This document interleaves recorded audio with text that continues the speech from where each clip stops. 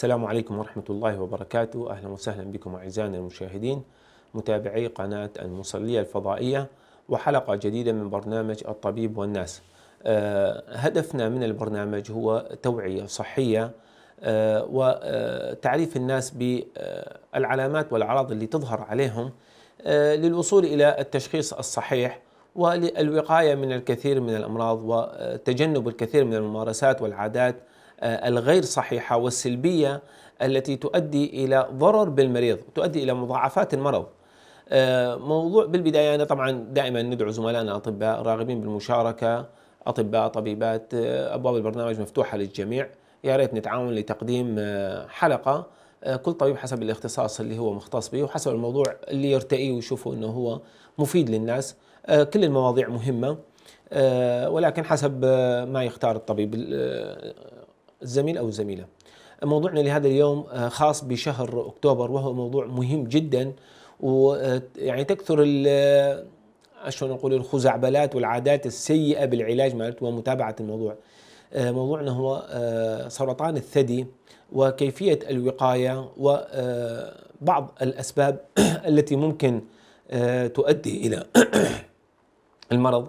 موضوع مهم جدا وإحنا يعني نشوف في مجتمعنا بحكم يعني العادات والتقاليد اللي عندنا كثير من أخواتنا وأمهاتنا ما يتعاملون مع الموضوع بجدية وما يعني يفحصون فحص دوري للثدي بصورة دورية لأنه يعني أكو فحص دوري لازم المرأة تفحصه. إحنا في حالة اكتشاف أي تورم بسيط ممكن أنه يعني نعالجه ونتجنب أنه تدهور الحالة.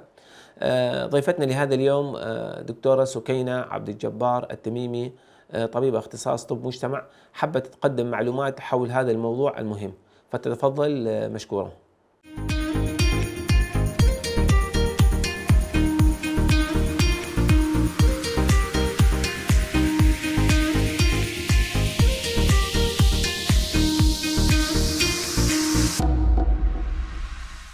بسم الله الرحمن الرحيم والصلاة والسلام على سيدنا محمد وعلى آله وصحبه أجمعين السلام عليكم ورحمة الله وبركاته أعزائي مشاهدي قناة الموصلية الفضائية أنا الدكتورة سكينة عبد الجبار التميمي طبيب اختصاص طب مجتمع نشكر بعد شكر الله نشكر قناة الموصلية الفضائية على هذا البرنامج التثقيفي العلمي الطبي ونشكر الدكتور بشار الجادر على دعوته لي للمشاركة بهذا البرنامج. موضوع الحلقة لهذا اليوم سرطان الثدي. بالنسبة لسرطان الثدي موضوع ما يخوف أبد وأريد أطمنكم وهو موضوع ممكن النجاة منه ما أقللكم الشفاء منه النجاة منه. يعني نعمل الوقاية والحمد لله. بالنسبة لكلمة سرطان كلمة سرطان جاي من كلمة لاتينية هي لغة العلم اللغة اللاتينية. السلطعون وهو عبارة يعني غشع المقطع العرضي مال الورم السرطاني يشبه الأرجل مال الحيوان برمائي اسمه السلطعون أو يسمونه الكابوريا أو القبقب. وحيوان برمائي وشكله عنده يعني امتدادات. لهذا السرطان من نفحصه بال يعني بالشكل العام يكون عبارة عن كتلة وبها امتدادات للأنسجة اللي داير مدايرة.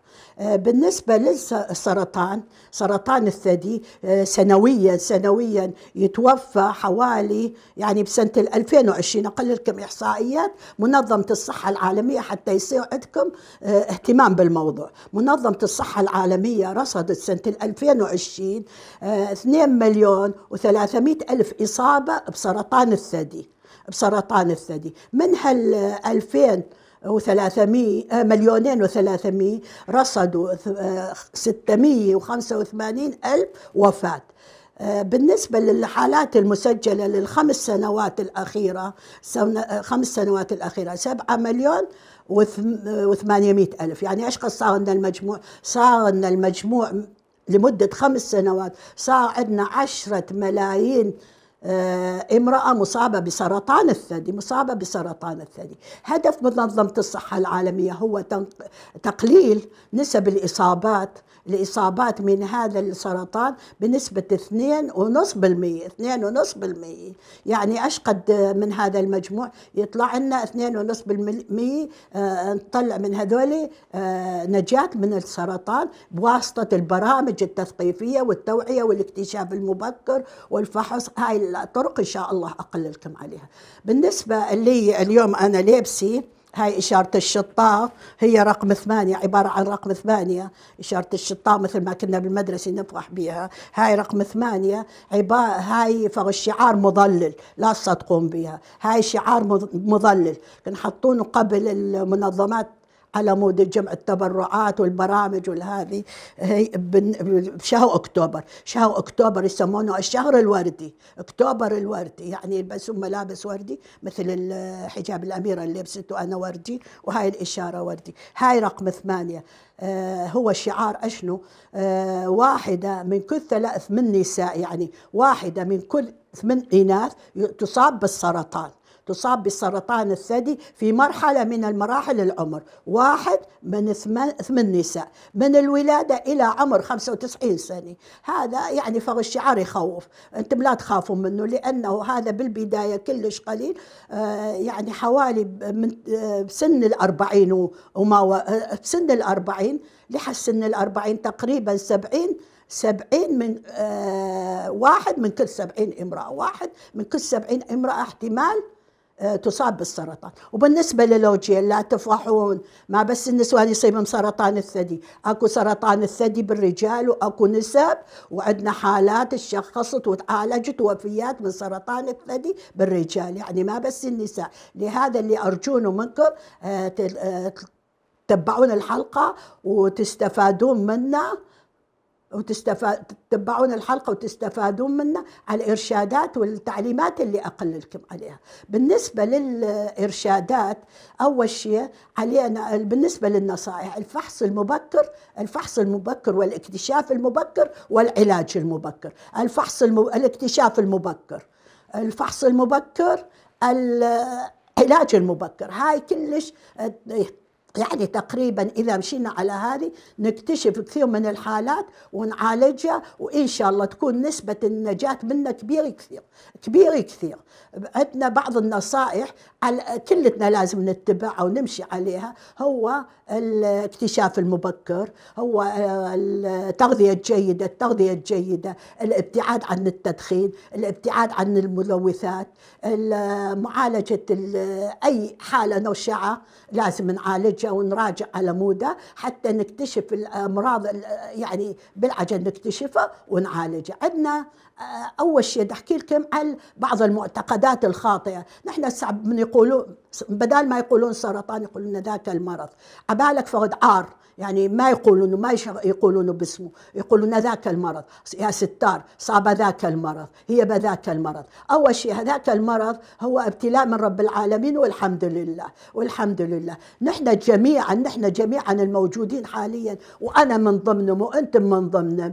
إما نكون مصابين أو ناجين مصابين أو أحد من جماعتنا مصاب أو ناجين من المرض. يعني يا ماكو اثنين ماكو ثالث لهم. إما أن نكون ناجين من سرطان الثدي أو مصابين بسرطان الثدي. لهذا علينا كلنا أن نهتم موضوع سرطان الثدي والاكتشاف المبكر لسرطان الثدي وما نخاف منه ما نخاف منه نواجهه. هو عدو عدو مفترس عدو سيء عدو ظالم. بس نحن لازم نواجهه بكل ما أوتينا من قوة وقبل كل شيء التوكل على الله. بالنسبة للأمر وزيادة الأمر وخمس سنوات بعد العلاج الطيب وخمس ناجين نحن بالنسبة لنا هاي الأمور ما تمشي عندنا. نحن مآمنين بقضاء الله وقدره ونحن نعرف الأعمار بيد الله. الأعمار بيد الله. يعني أنا مكتوب عمري هالقد أموت هالقد. هذا الطفل مولود مكتوب له يموت بالولادة يموت بالولادة. هاي كلها الأعمار بيد الله الأعمار بيد الله. بس أشنو؟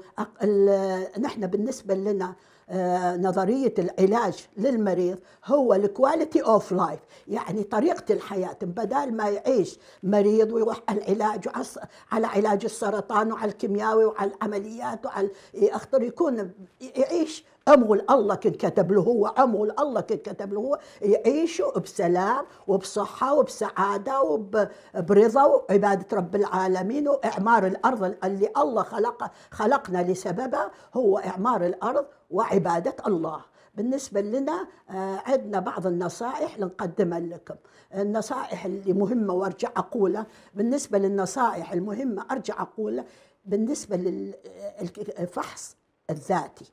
الفحص الذاتي للثدي. نحن بالمراكز الصحية وبالعيادات نعلم كل امرأة تجي خاصة اللي بعد الأربعين واللي عنده آه، تاريخ عائلي مثلا إما أختها آه، قريبتك انصابت بالسرطان. نحن نعلمها على الفحص الذاتي بالثدي. وجميع الطبيبات بالمراكز الصحية يشرحون للنساء طريقة الفحص الذاتي للثدي. وهاي الطريقة تجريها المرأة شهريا. شهريا تجريها لاكتشاف أي عقدة أو أي شيء ما طبيعي. حتى أنا أنصحك أختي المشاهدة إذا حسيتي بأي شيء أو شكيتي واحد بالمليون أقل واحد بالمليون. إذا شكيتي بأكو شيء بصدرك راجعي فورا الطبيبة إما بالمركز الصحي أو بالعيادة الخاصة ولا تترددين بالنسبة هاي الخطوة الأولى هو الكشف الفحص الذاتي للثدي. الخطوة الثانية هي مراجعة الطبيبة للتأكد يعني فحص بالعيادة إما بالمركز الصحي أو بالعيادة. من تشوفك الطبيبة هي رايح تطمنك. يعني أنا مثلا قبل يومين ثلاثة جيت أم معها بنت صغيرة يعني تقريبا 16 17 سنة آه، عندها فرد عقدي بالثدي كنت اكتشفت عقدي بالثدي جيت ميتي الأم من الخوف. قلت له لا تخافي ماكو شيء هذه سنة صغيرة وإن شاء الله ماكو شيء. وأنا فحصت وتأكدت ماكو شيء. بس بأي طريقة أقنعها قلت له روحي خذي له سونار. رحت أخذت له سونار وجابت لي النتيجة. آه كتلة حميدة تليف ماكو كشية وبسيطة. وهذه هذه شائعة بالثدي. وإن شاء الله فاصل وبعدها نرجع نكمل الموضوع.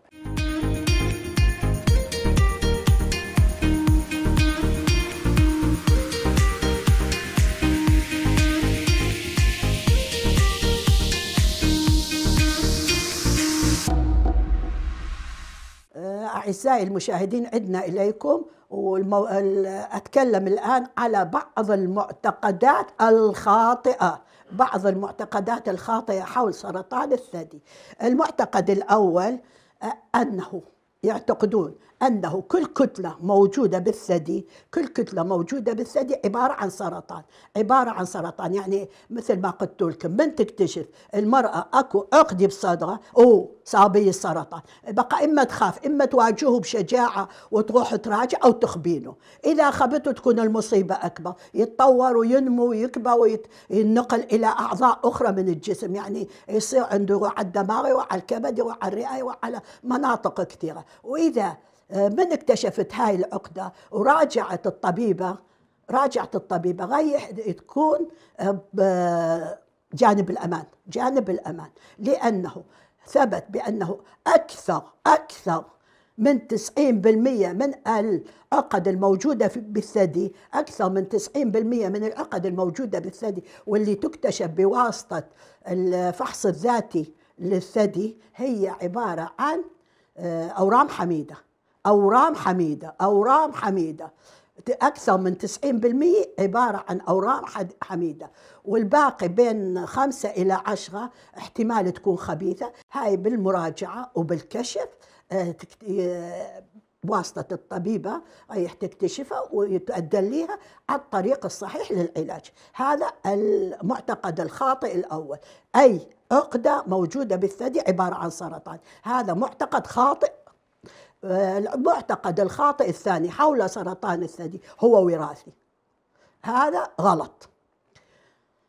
الوراثة بين الخمسة إلى عشرة زي أقل من عشرة الوراثة. يعني إذا كانت أمة أختها الأقرباء الدرجة الأولى نسميهم مصابين بالثدي بسرطان الثدي. هذول احتمال احتمال يصير بهم سرطان الثدي. هذول نعاملهم معاملة خاصة وعندنا فحوصات ومتابعة لهم خاصة. حتى عندنا فحوصات مع الأنزيمات ومع الهرمونات كل فحوصات هذه. هذول بين شكلهم بين خمسة إلى أقل من 10% الوراثة.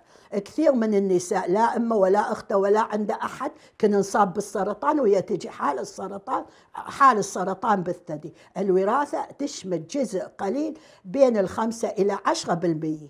كلش قليل نسبة الوراثة. ما يعني ما كل وحدة إما كان صاب بها سرطان أو أخته رايح يصيب بها سرطان. بس نطمنها لازم تعمل متابعة للثدي متابعة للفحص مال الثدي. نقطة خاطئة أخرى هي بأنه يعني إذا شالوا سرطان الثدي استحالة استعادته يعني يرجع بنفس المكان. لا هذا هذا خاطئ يعني إذا وحدة صابية سرطان الثدي وتعالجت وشالته إن شاء الله تغلبت علينا وتغلبت علينا لازم دائما تفحص وتراجع تفحص وتراجع لأن احتمال بنفس المنطقة يرجع. هو حالات نادرة بس كن صارت وكنا عندنا حالات كثير بعد ما يستأصلون الثدي يرجع السرطان بنفس المكان.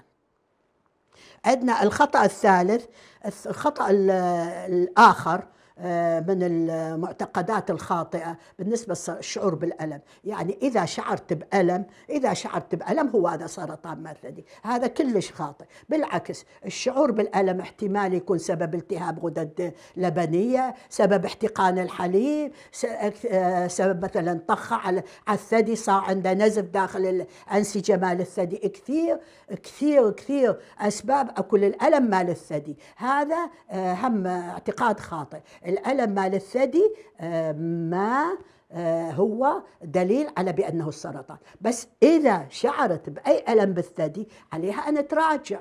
تراجع وما تسكت عن الموضوع. يعني تراجع وتعمل فحوصات حسب ما يدليها الطبيب أو الطبيبة المعالجة وينصحوها بالطريقة الصحيحة. يعني مثل ما نقول لا تنام على المرض. آه، عندنا من الأخطاء الأخرى الأخطاء الأخرى بأنه إذا أخذت أشعة الماموجرام هاي إشعاع رايح يعمل له احتمال يعمل له آه، سرطان بالثدي ليش؟ لأن كنت سمعت التعرض بالإشعاع هو يعمل سرطان بالثدي الماموجرام كمية الأشعة مالته كمية كلش ضئيلة وما تأثر ما تأثر على سرطان الثدي. عندنا الأشياء يعني عندنا غير أشعات تأثر نقول الابتعاد عن التعرض للإشعاع. هاي أشياء أخرى أشياء أخرى. مثلا الأشعة السينية آه، مثلا ناخذ اشعه للصدر أي كثير من الناس عنده مرابه آه، قحت صار عنده قحة صار عنده ألم بالصدر.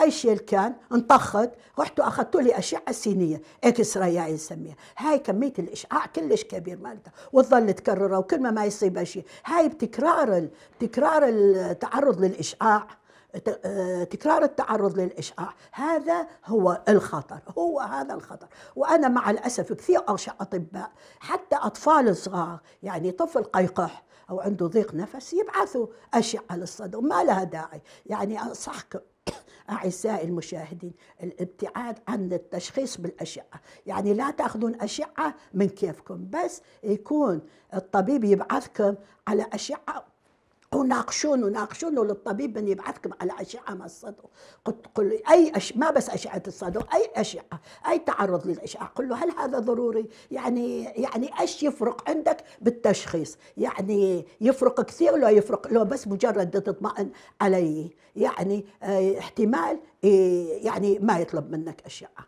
بالنسبة للأشعة هاي المقطعية الاشعه السيتي سكان هذا بينه إشعاع كثير. كثير كثير يأخذون. اللي يوجع ظهره تأخذ آه، سيتي سكان وتعيد وتظل تأخذ. راحت على هذا الطبيب أخذ له وراحت على ما قلت له للطبيب مثلا أنا قبل شهر شهرين اخذت آه، أشعة مقطعية وتأخذ أشعة مقطعية. يعني نرجع كثير. يجي قسم من المريضات تجيني على العيادة عندها أربع خمس فايلات ما سيتي سكان هاي إشعاع كلش كثير. يعني هذا ما نأخذه إلا بالحالات الشديدة جدا. هذا نسميه التعرض للإشعاع سبب من أسباب أي سر... ما بس سرطان الثدي أي سبب أي سرطان بالجسم ممكن هذا نحطه آه، سبب من الأسباب هذا التعرض للإشعاع. عندنا هاي الحمد لله إن شاء الله هاي صارت واضحة الأخطاء والمعتقدات الخاطئة وأرجع وأقول لكم سرطان الثدي ما يخوف وممكن النجاة منه. ممكن النجاة منه بعد التوكل على الله والاعتماد على الفحوصات والعلاجات وما ينصحنا بها الأطباء ذوي الاختصاص آه، فاصل إن شاء الله ونواصل معكم في تكملة الحلقة.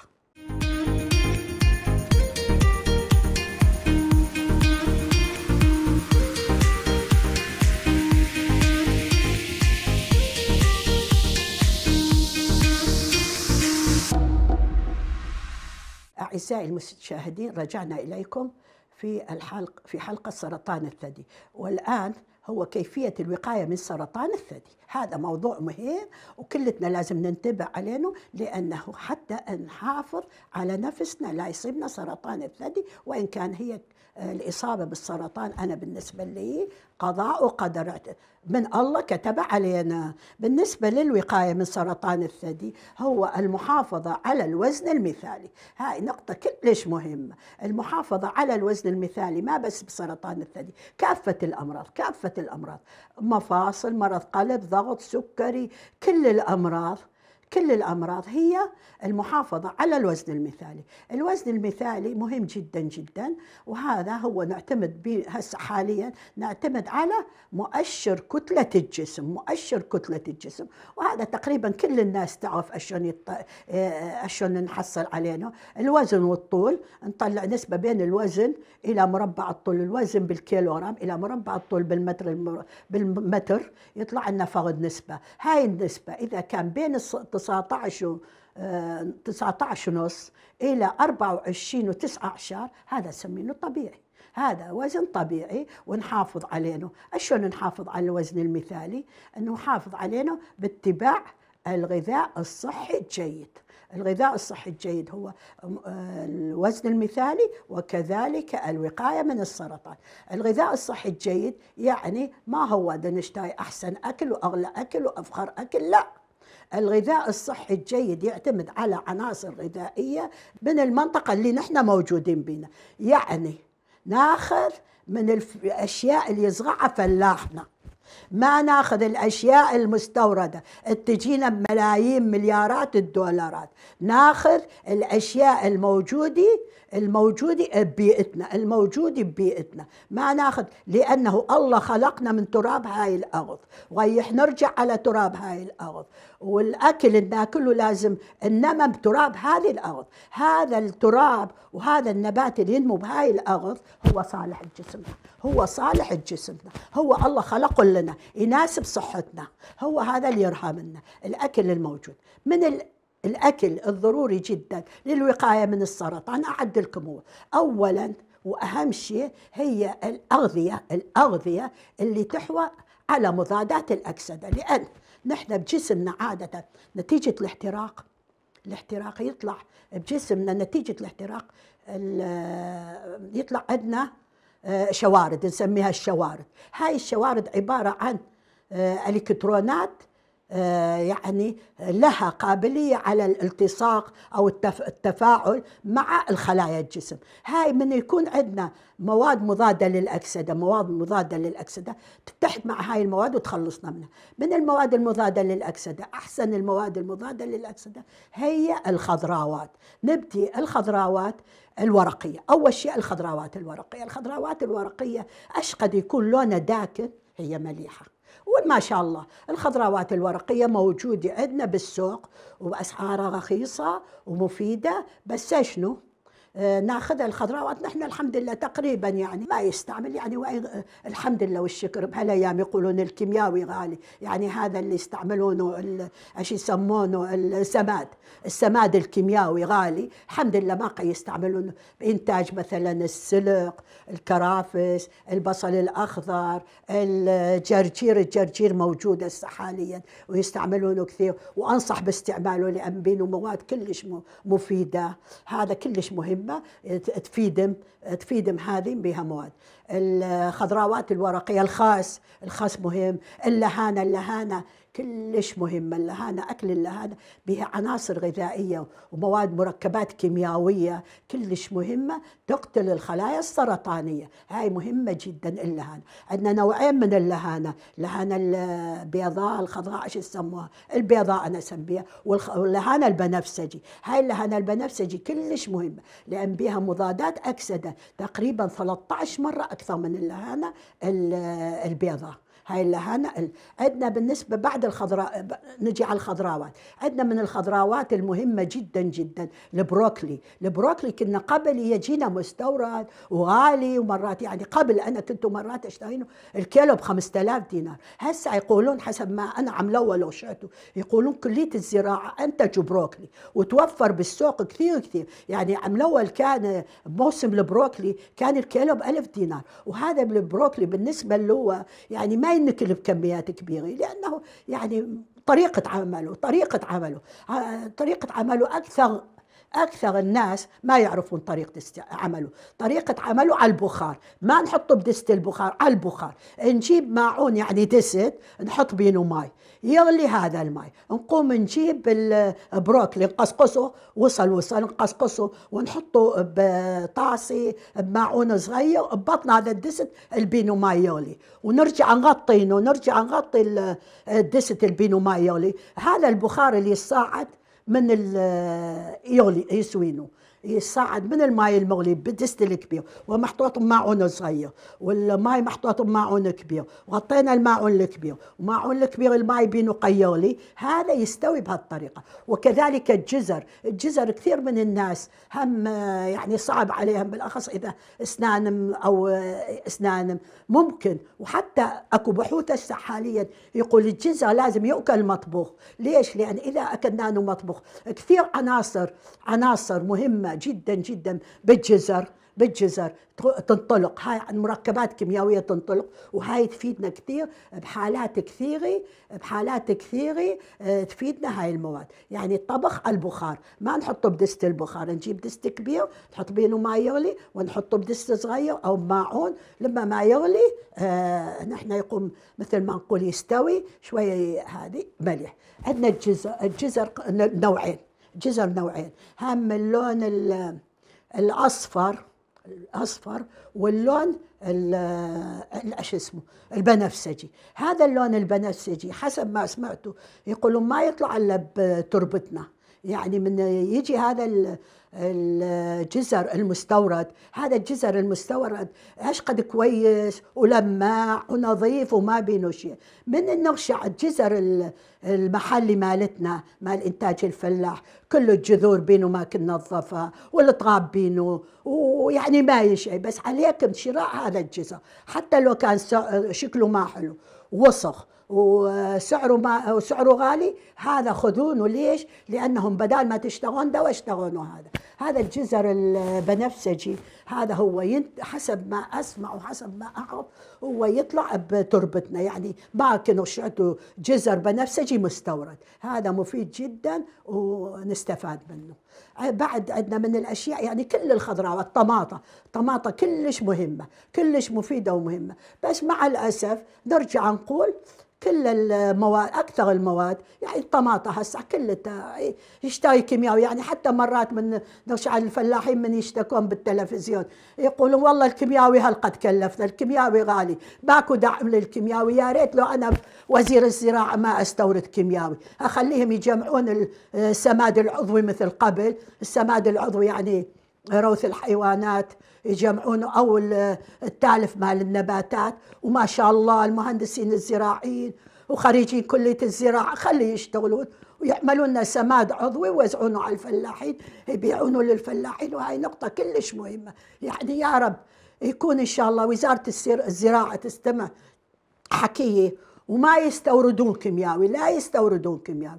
وإذا استوردوا خلي يبيعونه ما بهالقاط بهالسعر بعشقوط حتى لا حد يستعمله. لأن الكيمياوي كل الأمراض اللي تصيبنا هي نتيجة الكيمياوي نتيجة الكيمياوي.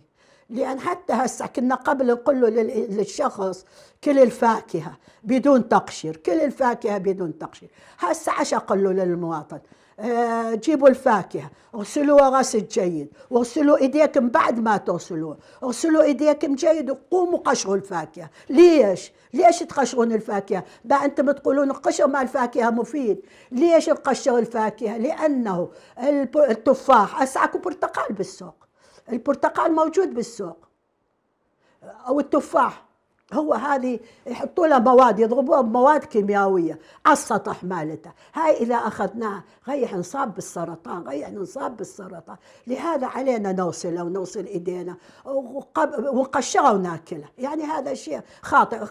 خسرنا كثير من العناصر الغذائية الموجودة بقشر الفاكهه قشرناها. ليش؟ لأن نخاف من الكيمياوي نريح ناكله ويسبب لنا السرطان. عندنا بعض من الأشياء المهمة جدا جدا هي الحبوب لأنه هاي أكلتنا الرئيسية يعني ما ناكل بس فواكه وخضروات و... وما ناكل حبوب. الحبوب تعتبر الوجبة الرئيسية. حبوب الوجبة الرئيسية وتشمل تقريبا آه، بين الخمسين إلى الستين بالمية من أكلنا. الحبوب عبارة عن الحبوب الكاملة الحبوب الكاملة.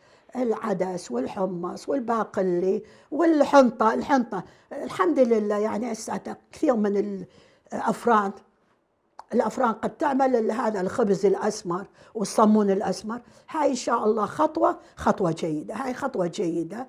ال- لأن الطحين المقصور هذا الصفر الأبيض. الأبيض هذا آه، مضر. مضر. وأنصحكم بالابتعاد. وعندنا بقانون التغذية السموم الثلاثة. هي السكر الأبيض هذا مضر. الطحين والملح. الملح طبعا كل الناس تعرف. الملح يعمل ضغط بالدم. يعمل ضغط بالدم وهذا ما بس ضغط. اللي عنده هبوط بالضغط إيش يقول له؟ يقول له ش- كل أمليكي شنينه وحطي له ملح. هذا الملح اللي حطته غيح بس يدور يتعب الكلية وغيح الجسم كله يفرزه. يعني ما هذا علاج. هذه نقطة خاطئة أريد أنوه عليها. عندنا من النصائح الأخرى اللي أنوه عليها هي أواني الطبخ. أواني الطبخ مهمة جدا جدا. آه إن شاء الله هسه بطل الفافون اللي كنا نستعمله الألمنيوم. هسه بطل. نستعمل من الأواني الجيدة هي ال stainless steel. الأواني الجيدة للطبخ هي ال stainless steel. بعض الأواني أكو هسه الموجوده بالسوق ما أريد اعدد الكمية. أي خدش بأواني الطبخ الموجوده عزيزتي المشاهدة أي أواني أي خدش موجود بأواني الطبخ سواء كان دست أو طاوة شيليهم زتيهم لا تستحي فيهم. لأن صحتك كثير صحتك وصحة عائلتك كثير أغلى من هذا الماعون الدز زتين هاي وحدة. آه ثاني شيء ال- بالنسبة للماي. الماي الماي مهم جدا جدا. نحن ما شاء الله هسه اللي يجون يجون نشرب ماي تجي من القرية نحن نشرب ماي آه، معقم. ماي معقم شنو الماي المعقم؟ هذا مال ال- شو اسمه؟ آه، مال البطالة هذا البلاستيك. أول شيء البلاستيك البلاستيك بكل الغذاء بكل الغذاء. البلاستيك هو مادة سامة مسرطنة. البلاستيك بكل الغذاء مادة سامة مسرطنة. وهذا بطل الماي بطل الماي اللي يصلكم. هو كان يتعرض لأشعة الشمس. ينقلونه طريقه النقل مالته لازم يكون ينقل بسيارات مبردة. مثل ما ينقلون الموطه طريقة نقل الماء اللي, اللي يصلكم لازم يكون مثل ما ينقلون الموطه وصلوا وصلوا من السي... من المعمل للسيارة من المعمل للدكان بسياره بسيارة مكشوفة تحت أشعة الشمس. تعرفون إيش قداتي حرارته وبعدين أبو الدكان يحطه بباب ال... باب الدكان. تجون تشتغلون من جوا الشمس. بعدين تخلونه بالبيت. هذا كان يتعرض كان يتعرض هذا النايلون مال ال- البلاستيك مال بطل الماء. كان يتعرض وتحول إلى مادة مسرطنة. اشون الماء مالتنا نشربه لازم. نشربه ناخذ ماء من الحنفية نحطه بالفلتر بالفلتر. هذا كلش مليح وعندنا التراث مالتنا الحب والشربي هذا مفيد جدا جدا. الحب والشربي ويا ريت ترجعون على الحب والشربي وتشربون على الأقل ماي الشرب يعمل لكم وقاية من الأمراض. نسمينه ماي حيوي. ماي حيوي تستعملونه مهم جدا. والحب والشربي موجود هسه بكل المشاتل موجود. ثاني عندنا نقطة كلش مهمة هي الراحة. الراحة النفسية. الراحة النفسية. من نتعب لازم نرتاح نرتاح. نحن ألا بذكر الله تطمئن القلوب؟ نقعد شوية نقرأ قرآن نصلي كم ركعة نستغفر نسبح. هاي مهمة هاي الراحة النفسية تبعث لنا الراحة النفسية.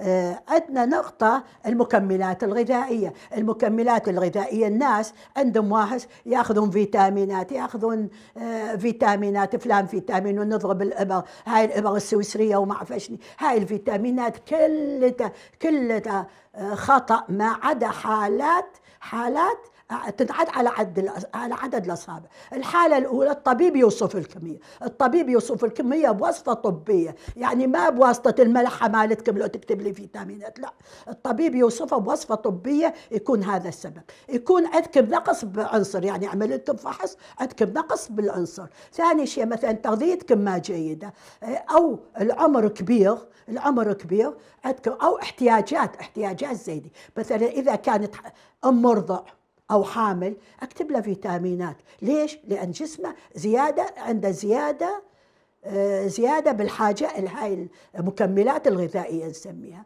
ويعني ما المفروض المكملات الغذائية ما تنخذ بدال شرس عندنا نقطة كلش جت ببالي كلش مهمة وأريد أأكد عليها. الدهون. استعمال الدهون بالأكل. هي الدهون الدهون أكو نوعين من الدهون. الدهون الدهون المشبعة والدهون الغير مشبعة الاصطناعية ودهن زيت الزيتون وغيره. هاي ما علينا منها. عندنا آه، متهم متهم بريء متهم بريء وأريد أبرئه هو البيض البيض. يقولون البيض يزيد الكوليسترول. أنت عندك مرض قلب عندك زيادة بالكوليسترول هذا غلط. هذا المتهم برؤه بالنسبة آه، اللي يهمني هسه بموضوع سرطان الثدي. البيض صفار البيض يحتوي على مادة الكولين. مادة الكولين هي مضادة أو معالجة لسرطان الثدي. لهذا على أنصح بتناول البيض وماكو خطر من تناول لحد السبع بيضات ثمان بيضات بالأسبوع.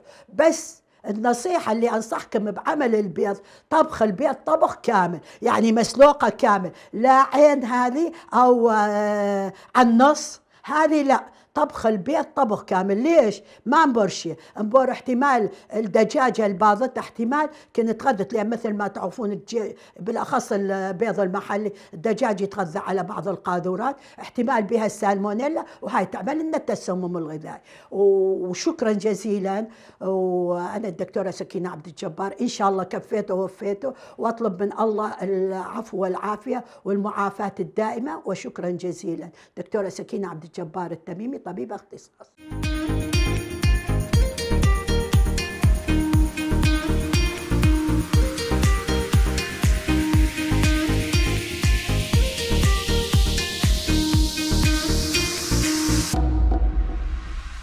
شكرا جزيلا لدكتورتنا العزيزة دكتورة سكينة عبد الجبار آه، التميمي آه، طبيبه اختصاص طب مجتمع. آه، طبعا موضوع سرطان الثدي موضوع مهم جدا.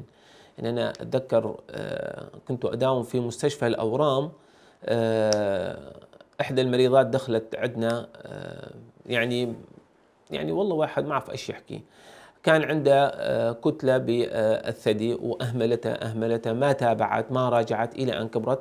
طبعا هو تبدأ يعني يعني كتلة أو ورم حميد يكون ولكن ممكن أنه يتحول إلى خبيث. إحنا إذا من البداية تم معالجة المرض وتم اكتشاف المرض في آه، بداياته آه، العلاج يكون آه، أسهل وأنفع. يعني إحنا ليش ننتظر أنه إلى أن المرض يستفحل عند مرضانا يلا نعالجه. إحنا نشوف كثير من النساء أو عدد غير قليل ما أقول كثير أنه يكتشفون كتلة أو تورم موجود في الثدي ولكن ما يراجعون. أو آه، ياخذوها إنه شغلة عادية. إحنا قد نكتشفها؟ هي وصغيرة التورم ونحاول نزيله أو نعالجه. آه، بهالحالة إحنا عن نقطع الطريق أمام تدهور هذا المرض. لأنه إحنا إذا تركناه ممكن إنه يتحول مرحلة أولى ثانية درجة أولى ثانية ثالثة رابعة ودرجات أخرى. فإحنا قد من البداية نكتشف المرض ونعالج المرض. إحنا نتجنب المضاعفات.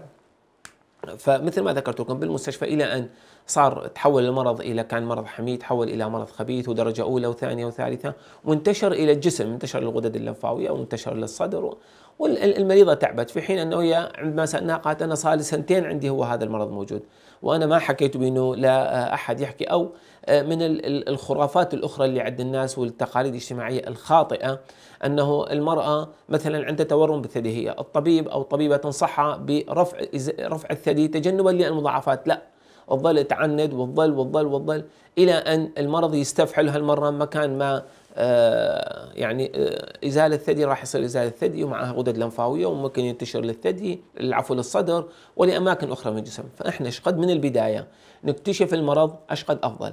العادات والتقاليد الخاطئة والخزعبلات اللي ينطوكم هي يا جماعة اللي اللي بدي أقول عليهم ما يخافون الله. يروحون النسوان خطي يعني آه غشمة وأكو ناس آه يعني اشهر تقول تتعلق بقشاي. يروحون على فلان شخص وفلان شخص وينطيهم هذه المادة وهذا العشب وهذا المعرف أشني وهذا تعالجين منه هو كله غلط في غلط. بالعكس هذا حيخلي الأمور تدهور بعد أكثر وتسوء بعد أكثر. خلي نتعلم الشيء الصحيح ونحافظ على صحة بناتنا وأخواتنا وأمهاتنا أنه يعني من أنه تدهور وتصير أسوأ. موضوع مهم جدا. شكرا مرة أخرى دكتورة سكينة عبد الجبار التميمي طبيبة اختصاص طب مجتمع. شكرا لإدارة قناة المصلية الفضائية على التعاون معنا في تقديم هذا البرنامج. شكرا للكادر المصور اللي يتعب معنا لا تنسونا من صالح دعائكم لنا ولوالدينا وللجميع. والسلام عليكم ورحمة الله وبركاته.